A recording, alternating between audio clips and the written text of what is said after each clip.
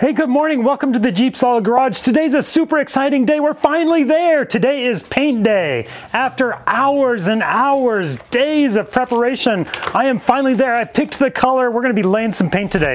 Let's get to it.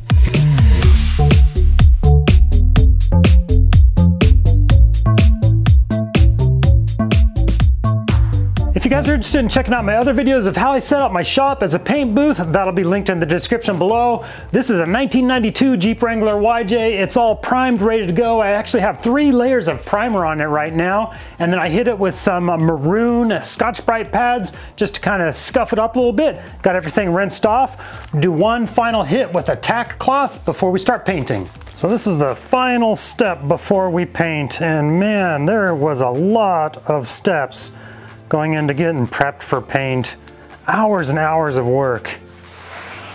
But the tack cloth here, just gonna pick up any last little bits of debris, any little bits of lint, because that'll just uh, stick to the paint and create a little nubbin that you don't want. So just wipe everything down real quick and we'll be good to go. All right, gonna set my gun up here. So this is a uh, high volume, low pressure, gravity feed gun. So I want the pressure about 32 with the trigger fully depressed here. So let's set this up real quick. All right, here we've got our paint, our uh, reducer, and our activator. We're gonna be mixing all this at a four to one to one ratio. So on my bucket here, I've got it marked four to one to one. So we're gonna go up to that three with the paint, then the uh, reducer, and then the activator. Alrighty, this is a big moment. Are you guys excited? What color did I pick? Wonder if the thumbnail gave it away. You excited, Amanda? Mm -hmm. See what this looks like? Here we go.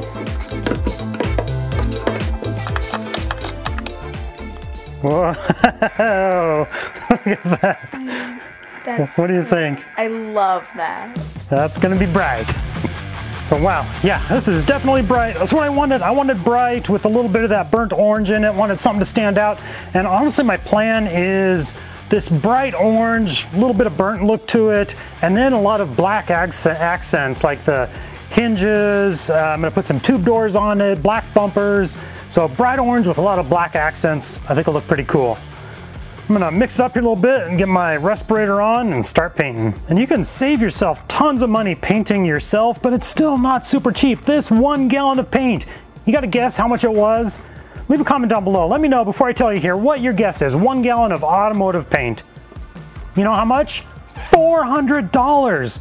Actually like 399 or 398. $400 for one gallon. That's a lot cheaper than paying somebody $8,000, $10,000 to paint a vehicle for you. I should do a video. I'll probably do that in the future. What did it cost for me to paint my Jeep? Uh, not, not super cheap, but uh, not near as expensive as having somebody do it for you.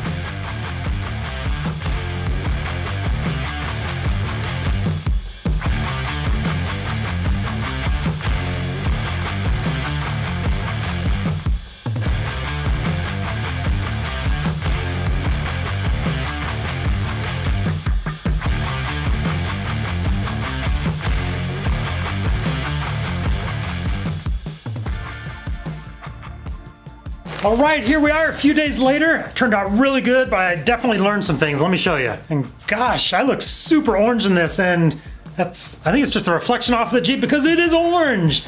But man, the sticky dust from the spray, it gets everywhere, absolutely everywhere. So I am so glad I tarped off the my garage floor. My shoes are just covered. It gets on everything. It's just like this sticky, dusty powder cover everything up. But I'm super happy with how the Jeep turned out. I think it looks just great.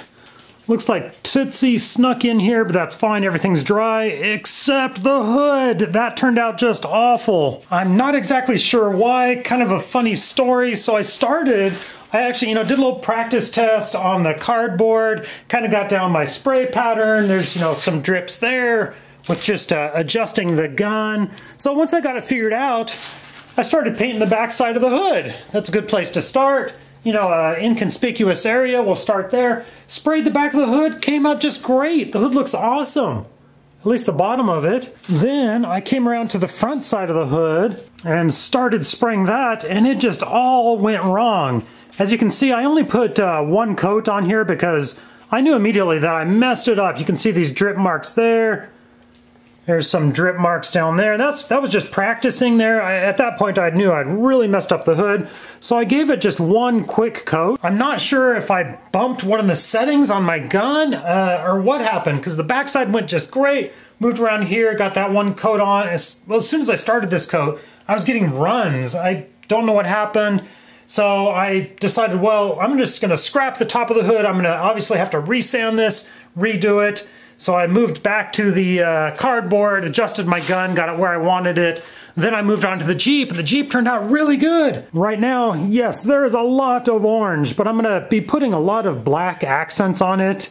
Uh, the fender flares, front and rear bumper, the hinges, the top. There's going to be a lot of black accents with it, and I think the black and orange together is going to look really nice. But the paint, you know, my paint job, I'm pretty darn pleased with it. For my first paint job, pretty happy with how this turned out. I wasn't going for perfect bodywork or anything. You know, it's a Jeep.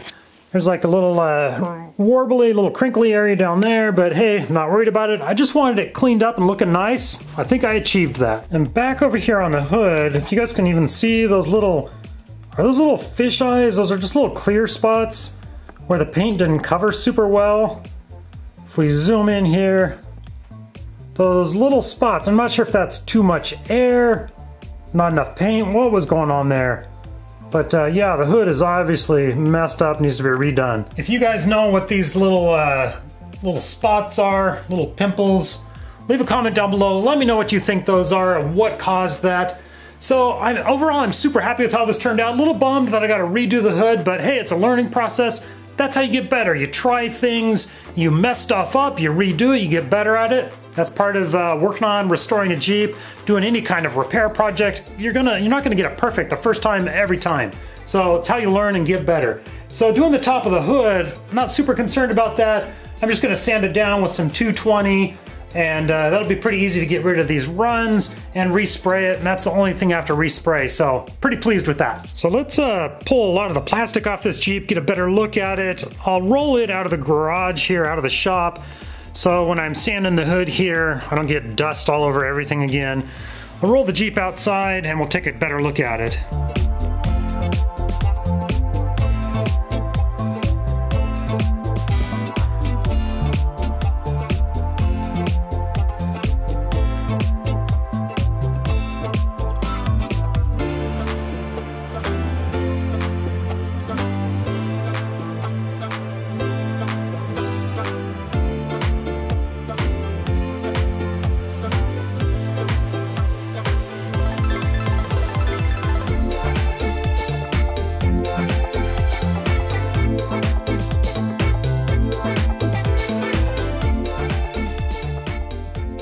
All right, it is the morning of the next day. Got my coffee, still in my pajamas, but let's check out the work. It turned out great. Super happy with the redo on the hood. Let's check the Jeep out as well. So the hood is drying. Uh, looks great though. Not absolutely perfect. There's a few little, little tiny nubbin like right there.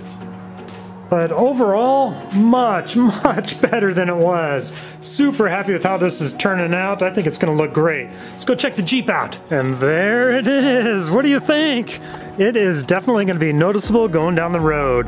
I'm gonna be adding some uh, black fender flares, black decal on the side. It'll have a black top, so a lot of black accents. Obviously the hinges, the cowl vent there, starting to look really good. I am super happy with how this turned out. I'm also gonna go with some black tube doors. Those are gonna be awesome for summertime. So yeah, super happy with how this turned out. Leave a comment down below, let me know what you guys thinks. What you guys thinks. Check out my next video right here. Thanks for watching, have a good day.